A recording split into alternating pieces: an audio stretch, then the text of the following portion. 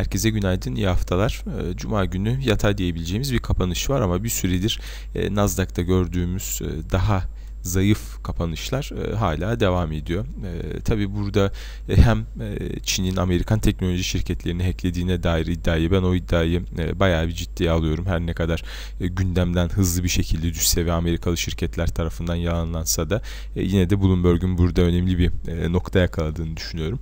E, ve tabi e, buna ek olarak da e, teknoloji şirketlerinin bilanço açıklamaları. E, açıklamalar bu hafta biraz daha ön plana çıkacak gibi gözüküyor. Amazon'la e, beraber birkaç tane daha önemli şirketin açıklaması olacak. E, görüyorsunuz 25'inde Amazon geliyor. Yine aynı şekilde Google'ın bilançosu 25'inde var. Microsoft tarafında bilanço açıklanacak 24'ünde Intel açıklanacak 25'inde. Dolayısıyla bu hafta teknoloji şirketlerinden gelecek olan e, önemli açıklamalara biraz daha e, odaklanacağız. E, şurada 200 günlük ortalamayı atacak şekilde bir grafiği açmak istiyorum. E, görüyorsunuz 200 günlük ortalamanın hemen etrafında dolaşmaya devam ediyoruz. İkinci e, çözülmeler bugün ne olur önemli üzerinde kapatıp kapatmayacağını biraz daha önemsiyorum ama genelde e, ilk dibin altına doğru götürür. Dolayısıyla e, biraz daha dikkatli takip etmekte fayda var. S&P tarafına baktığımızda tam 200 günlükteyiz. Dow Jones tarafına baktığımızda üzerinde duruyoruz. Aslında e, bu doğal bir hareket. Yani Dow Jones'takilerin daha blue chip şirketler olduğu hem internasyonel bakıldığında hem de biraz daha tedirgin yatırımcı açısından bakıldığında daha e, sağlam şirketlerden olduğu göz önünde bulunursa e, Dow Jones'un biraz daha e, az düşmesi veya biraz daha teknik olarak iyi bir görüntü içinde olması doğal bir görüntü diye düşünüyorum. E, ama e, bu hafta gelecek olan e, bilanço açıklamaları Nasdaq'ı tekrar yukarıya doğru götürürse liderliğin Nasdaq üzerinden e, gelmesi gerekiyor. Dolayısıyla bu hafta özellikle e, haftanın e, sonuna doğru gelecek olan açıklamaları e, biraz daha yakından takip etmemiz gerekir. Bilanço açıklamalarının e, gölgesinde bir hafta olacak görüyorsunuz. Ağırlıklı olarak birinci sınıf diyebileceğimiz e, veri kalitesi e, pek yok. Şuradaki belki e, dayanıklı mal siparişleri biraz öne çıkacaktır. Ama genel olarak baktığımızda e, çok yeni bir e, veri seti yok. E, evet GDP tarafı e, önemli olacak ama o da e, biraz daha artık üçüncü çeyrek yavaş yavaş geride kalmaya başlıyor. Çok piyasayı e, oynatacağını zannetmiyorum. E, Çin tarafında kuvvetli bir seansta karşı karşıyayız. Görüyorsunuz %4'lere varan Çin menkullerinde e, yükselişler söz konusu. Gerek e, Hong Kong tarafında gerekse e, kendi piyasalarında. Tabi burada açıklanan e, iki hafta üzerinde tartışılacak olan vergi paketi önemli olacak. Aslında e, vergi paketinin özellikle tüketicilere, hane halkına yönelik olması da son derece doğru bir adım. Çünkü Amerika ile olan kavgada Çin'in daha fazla dayak yiyor olmasının nedeni güvenebileceğim, e, kendisini taşıyacak bir iç piyasaya e, sahip olmaması diyebiliriz. Şimdilik geldiğimiz seviyeler itibariyle bu bir tepki yükselişi e, özelliğini taşıyor. Biraz daha yukarıya 2700'leri aşması gerekiyor ama e, dediğim gibi iç piyasayı canlandıracak ki e, 1 Ocak 2019'da devreye girecek olan bir paketten bahsediyoruz. İç piyasayı canlandıracak her türlü adım e, son derece önemli olacaktır. E, özellikle Amerikan baskısının olduğu bir noktada e, tüketimi arttıracak, hane halkının kullanılabilir gelirini arttıracak e, her türlü adımda vergi indirimindeki bunun içinde mortgage da var, e, sağlık harcamaları da var, e, yaşların bakımı da var var. Yani geniş bir e, alandan bahsediyoruz. E, bu tip adımların e, önemli olacağını, piyasayı canlandırabileceğini düşünüyorum. Ama daha kısa vadeli bir görüntü bu. Orta vadede baktığınızda Çin'de hala çok yoğun, şu İtalya haberi de önemli. Çin'de hala çok yoğun bir kredi problemi olduğunu da unutmamak lazım. Dolayısıyla ekonomi geçtiğimiz hafta gördüğümüz gibi kademeli olarak gevşemeye devam edecek. Ne kadar e, kontrol e, söz konusu olur e, hükümetin onu söyleyebilmek zor ama Çin kesinlikle Amerika'nın istediği gibi piyasayı dış etkenlere açmayacaktır. Özellikle sermaye hareketi olarak baktığımızda şu anda açması çok da büyük bir hata olur. Çok ciddi bir kur krizi yaşarız. Dolayısıyla Amerika ile olan kavganın devam etmesi kaçınılmaz gibi gözüküyor. Piyasa piyasaların geneli açısından baktığımızda e, hisse senedi piyasası pek global piyasaları etkileyebilecek bir e, nitelik taşımıyor. Burada daha önemli olan kurun kendisi. O tarafta da fazla bir e, rahatlama olmadığını görüyoruz. Dolayısıyla hala kritik seviyelerdeyiz. Şayet 95'ler aşılırsa momentum artık 7'ye doğru burada yuanı taşıyacaktır. Oraya dikkat etmekte fayda var. Şimdi buradan bono piyasasıyla e, devam edelim. Amerikan 10 yıllıklarında pek söyleyecek bir şey yok. E, isterseniz buradaki short pozisyonlara bir e, göz atalım. Çünkü 3.20'lerin kırılması biraz onlara e, bağlı olacak. Baktığımız zaman short pozisyonlarda hafif bir azalma olduğunu görüyoruz ama hala çok yüksek seviyelerde. Buradaki asıl bizi ilgilendiren konu tabii İtalyan tahvilleri ki burada çok ciddi bir hareketle karşı karşıya kaldık Cuma günü.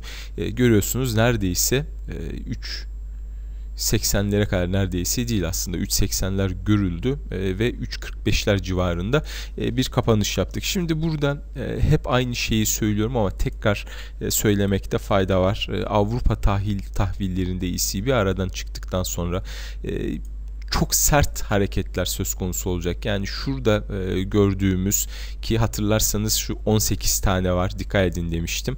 Sayarız demiştim. Bir tanesi Another One Bites the Dust oldu. E, şurada e, görüyorsunuz artıya geçen bir bono söz konusu. E, burası çok hızlı bir şekilde e, yukarıya doğru hareket edecek. Çünkü kaçınılmaz bir şekilde ECB'nin aradan çıkmasıyla bir alıcının ortadan kaybolduğunu göreceğiz. Dolayısıyla alış satış arasındaki fark veya kademelerdeki derinlik bir anda ortadan kalkacak. Dolayısıyla İtalya'da gördüğümüzü başka yerlerde de görüyor olacağız. Bunu unutmamak lazım. Şimdi sabahki mailin hemen hızlı bir şekilde üzerinden gitmek istiyorum istiyorum. Çin tarafını geçelim, Amerika tarafını da geçelim. Heh, şu nokta e, önemli. Yani baktığımız zaman e, İtalya'nın önemli bir miktarda aşağı yukarı 1 trilyon daha sonra değişti bu e, 2012 sonrasında e, Collective Action Clause'lar eklenmeye başladı Avrupa genelinde ama aşağı yukarı 1 trilyon euroluk bonusu e, yerel e, tahvillerle daha doğrusu yerel kanunlarla ihraç edilmiş durumda. Dolayısıyla da e, bu tahvillerin ödemesinin hangi kurdan yapılacağı devlet tarafından e, değiştirilebilir. Bu önemli bir nokta. Şurada hazinedeki üçüncü maddeyi paylaşmıştım. Tabii iki tane garanti altına alan borçlanan kişilerin pardon borç vereni biraz daha kuruyan bazı maddeler var ama işte 8. madde gibi görüyorsunuz aslında e, herhangi bir şekilde bir değişiklik yapma etkisi de e, hazineye verilmiş durumda. E, dolayısıyla Yunanistan tarafına baktığımızda kanun biraz daha Londra ve Avrupa Birliği'nin kanunları üzerinden geldiğinden dolayı Yunanistan sadece iç piyasanın iç lokal kanunlara yönelik ihraç edilmiş olan bonolarda haircut'a gidebildi veya diğerlerinde borçluların onayını almak zorunda kaldı. İtalya'da böyle bir durum e, şu an için yok. 2020 yılına kadar baktığınızda bundan sonra ihraç ettiklerinde bu durum hasıl olacak ama şu anda baktığınızda e, borcunun yarısının yükünden para basarak kurtulması e, mümkün. Yani Yunanistan'da bu söz konusu değildi. Euro'dan çıkarsa ciddi bir euro borcu ve çok büyük oranda devalüe edilmiş bir para birimiyle baş başa kalacaklardı. E, İtalya tarafında bunun bu etkinin çok daha e, zayıf olduğunu görüyorsunuz. Nitekim e, dediğim gibi e, Collective Action Clause olan bir bono ile olmayan bir e, İtalyan tahvilini karşılaştırırsanız CDS bazında farklı olduğunu görürsünüz. Hatta ve hatta özel sektör bonusunun bile bazı noktalarda İtalyan tahvilinden daha iyi e, getirdiği gözükebilir. Şimdi ikinci bir nokta yani e, çıktığı zaman artık çirkefe atmak mı dersiniz, realitesi bu mu dersiniz, niye karşı tarafı ürkütecek bir e, avantajı var. E, o da işte e, Target 2 e, balanslarından geliyor. Şurada e, görüyorsunuz mailde de yazmıştım. 2011 yılına kadar aşağı yukarı sıfır. Yani buna alacak verecek dengesi olarak bakın. E, takip edenler zaten biliyordur anlattım bunu defalarca ama alacak verecek dengesi olarak bakın.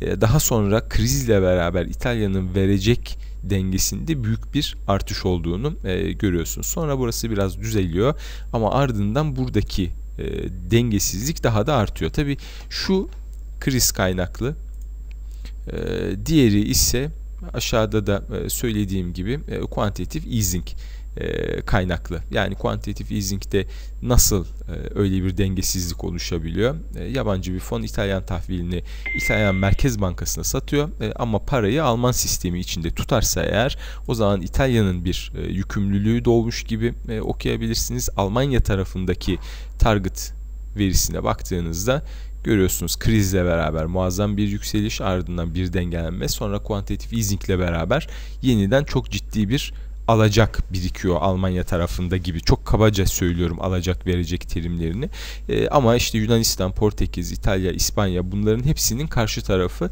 Almanya. Dolayısıyla e, İtalya'nın sistemden Target 2'den çıkması e, olmayan bir sistem içinde bir olan yükümlülük anlamına gelecek. Bu da e, Avrupalıları Euro bölgesini korkutan gelişmelerden bir tanesi. Dolayısıyla İtalya'yı tartıştığımız zaman işte televizyonlarda veya yorumlarda hep e, getiri ve oran üzerinden tartışılıyor ama çıkmasını tartışıyorsak veya bir default ihtimalini tartışıyorsak olay çok dallanıp budaklanacak. Öyle zannedildiği kadar basit bir konuda e, değil bu. E, buradan Euro tarafına geçelim o zaman. Euro tarafında da e, İtalya'daki toparlanmaya paralel olarak bir e, toparlanma gördük. Cuma günü e, görüyorsunuz 14 35'lere kadar gerilemişti ki bu aşağı yukarı 3. gerileme oldu bu ay içinde e, baktığımızda. Burada önemli bir tavan e, oluşmaya başladı. Bunu bir de gösterge ile beraber değerlendirdiğimizde e, olumlu bir teknik görüntü var diyebiliriz. Biraz daha göstergede yükselen e, dipler görüyoruz. Bu tarafta da 15-20'nin e, 14-30'ların yavaş yavaş oluşmaya başladığını görüyoruz. Yani Euro e, kısa vadede desteklenebilir bir e, durumda. İtalyan beklentisinin biraz toparlaması, e, gelen iyi haberlerle yukarıya doğru gidebiliriz. Özellikle Amerika'daki seçim sonucu da e, önemli olacak. Bu bizi e, 15-70'ler e, pardon e, 17-50'ler ve belki üzerine de çıkartabilir. Ama az önce paylaştım paylaştım. E, dinamikler euro lehine değil. Dolayısıyla ben yukarı hareketleri satış fırsatı olarak değerlendirme taraftarıyım. Aşağı tarafta da 14.70'in altında e, bir kapanış olup olmayacağını e, takip etmeye çalışıyorum. Bu taraftaki pozisyonlara da fazla uzatmadan hemen bir e, göz atalım. Görüyorsunuz biraz daha e, dolar pozitif e, bakmaya başlayan bir piyasayla karşı karşıyayız ama e, abartılı diyebileceğimiz bir nokta, bir görüntü söz konusu değil. Bu hafta diğer bir önemli gelişme Brexit tarafında olabilir. Zaten günlük olarak gelen haberleri görüyorsunuz. Geçtiğimiz hafta açıklanan verilere baktığımızda özellikle enflasyon tarafında önemli bir geri çekilme, önemli bir aşağı trend olduğunu gördük. Ben e, daha önce de paylaşmıştım. Bank of ee, Kanada'da da Bank of England'da da e, hatta ECB'de de e, atılan adımların hatalı olduğunu düşünüyorum. Dolayısıyla e, Bank of England'ın da faiz tarafıyla destek verebileceği görüşünde değilim ama kısa vadede şurada gördüğümüz günlük bazda bakarsak 30-20'ler kırılmadan pound'da negatif bir görüntü söz konusu olmayacaktır. Zaten politik olarak ilerliyor. dolayısıyla çok fazla hareket etmeye gerek yok. Bu arada Kaşıkçı haberi çıktı. Kaşıkçı haberinde de e, şuradaki Suudi Arabistan endeksinin dünkü hareketine baktığımızda piyasanın e, artık belli bir ölçüde e, bu konuyu unutmaya başladığını görüyoruz. Çünkü dün de e, bir satış geldi. Görüyorsunuz e, negatif bir açılışın ardından biraz kamu fonlarının kullanıldığı da e, konuşuluyor. E, kapanış aşağı yukarı önceki günün e, seviyesinden gerçekleşti. E, endekste veya kurun kendisine baktığımızda, forwardlara baktığımızda e, çok yoğun bir baskı olmadığını görüyoruz. Şuradaki toparlanma ardından bir satış geldi. Şu anda da aynı seviyeler etrafındayız. Altın tarafına gelelim. Altına aslında jeopolitik olarak destekleyebilecek gelişmelerden bir tanesi Trump'ın açıkladığı e, nükleer e, silahlanma dan orta e, menzilli füzelerle ilgili Rusya'yı e, çalışmaları yapmakla hala e, suçluyor. Dolayısıyla o tarafta çekil anlaşmadan çekilebileceğine dair bir açıklama geldiğini gördük. Bu tabii jeopolitik olarak destekleyecek bir gelişme ama burada yeni söyleyecek bir şey bulamıyorum açıkçası. Baktığımızda hala gümüşün önderliği alması gerekiyor ki biraz daha pozitif bir resimden bahsedebilelim. Hala 83-84'lü seviyelerdeyiz. Yani muazzam bir rally'nin başladığından e, ben çok emin değilim. Hatta bir aşağı bacak daha olabileceğini düşünüyorum. E, böyle olmadığını düşünüyorsanız spotta gümüşü almak daha mantıklı. E, ardından altın gelecektir tabii ki ama her ikisinde de ben e, rüştünü ispat için biraz daha yüksek seviyeler görmek isterim. Kendi teknik yorumum açısından şurada gördüğümüz en azından e, 1242 e, 45 seviyelerinin e, bir aşılsın da ondan sonra biraz daha e, netleşecektir görüntü. Buradaki yukarı e, dinamiğin önemli bir kısmının shortlandan e, short pozisyonlardan kaynaklandığını düşünüyordum. Şurada görüntüyü açarsak biraz bir toparlanma olduğunu e, görüyoruz. E, Tabi bu 16'sı itibariyle e, görüyorsunuz eksiden hızlı bir şekilde artıya geçmiş durumdayız. E, ciddi canı yandı o shortların ama hala e, düşük seviyelerle karşı karşıyayız. Bunun daha abartılı bir şekli hatırlarsanız gümüş tarafında vardı. Gümüş tarafında da pozisyonların kapanmaya başladığını görüyoruz. Ama hala baktığınızda e, çok ciddi anlamda bir short var tarihin en yüksek short seviyeleri. Dolayısıyla yukarıya doğru ivme biraz daha korunabilir ama bunlar kapandıktan sonra hala bir yukarı hareket olacak mı? Bizim açımızdan asıl önemli olan bu. Eğer olur ise o zaman dolarla beraber belki dolara karşı da yükselir ama dolarla beraber yükselişinde başladığından bahsetmek e, mümkün olur. Benim beklentim biliyorsunuz önce doların yükselmesi ardından dolar ve altının beraber yükselmesi e, en son altının tek başına e, kalması şu anda bu ikinci ve üçüncü aşamalara henüz gelmedik. ikinci aşamaya yakınız diye düşünüyorum. Bono piyasasını zaten konuştuk. Petrol tarafına bakalım. Petrol tarafında tabii en yeni veri kuyu sayıları o tarafa baktığımızda hala artışın devam ettiğini görüyoruz. Bu seviyelerden e, üreticiler e, yavaş yavaş piyasaya geliyor. 50 günlük ortalamanın altında kaymış durumdayız. 200 günlük ortalamayı da eklersek genelde söylediğim 65'li seviyelere beklentim hala devam ediyor. Buradaki olumlu gelişme olarak e, söyleyebileceğim, paylaşabileceğim 71'lerin e, altına kaymış olması. E, dolayısıyla hareketin biraz daha devam etmesini bekliyorum. Şu tarafta pozisyonları da açarsak orada da hala yüksek seviyelerdeyiz ama teslim olanlar yavaş yavaş gelmeye başladı. Dolayısıyla burada pozisyonlar azaldıkça 65'lere doğru geri çekilme söz konusu olacaktır. Tabi e, bunun etkisini e, para birimleri üzerinde de e, takip etmek belki e, gerekebilir. Ruble tarafına e, baktığımızda artık yataya döndüğünü görüyoruz. Kanada tarafında e, NAFTA anlaşmasının yarattığı iyimserlik e, tekrar kendisini geride bıraktı ve e, yukarıya doğru giden daha doğrusu değer kaybeden bir Kanada dolarıyla karşı karşıyayız. Orada da şu çizgiyi çizersek aşağı yukarı 31'li seviyelerin kırılması durumunda biraz daha yukarıya doğru e, bir hareket olacak gibi gözüküyor. Bitcoin tarafıyla beraber bitirelim. Şimdi Tether tarafında yavaş yavaş bire doğru bir toparlanma olduğunu e, görüyoruz. Bunu olumlu olarak e, algılıyorum. E, çünkü buradaki son hareketin temelinde e, Tether korkusu e, vardı. Yavaş yavaş orası sanki dengeleniyor gibi e, gözüküyor. Şurada baktığımızda artık yatay hareketin sonuna geldiğimizi düşünüyorum. Çok fazla bir volatilite kaybı oluşmaya başladı. Bakalım bu taraftaki pozisyonlar nasıl? Hafif bir e, short pozisyonda kapama var e, ama hala e, piyasa net shortta. Yavaş yavaş tabi bakt artık gündeme gelecek. İşte Fidelity'nin haberini vesaire aldık ama bundan sonra burada işte yeni bir fikirden, upgrade'lerden ziyade e, özellikle kullanım tarafında o yüzden baktı önemli düşünüyorum. E, kullanım tarafında nasıl bir gelişme olacak onu görmek istiyorum. İşte Goldman'ın bazı adımları vesaire var.